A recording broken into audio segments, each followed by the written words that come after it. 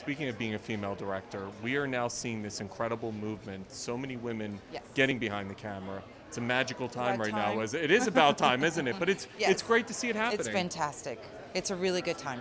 When you see what's happening, what advice, as someone who has directed, would you give to other women getting behind the camera? Never give up. I mean, you just have to you have to be strong, and you can never give up. And I think when I did it, even five years ago, it was different, where I still felt that, you know, not everybody looked at me in the same way, and maybe they would have asked my DP for you know a question rather than me directly because they thought maybe he has more experience or something.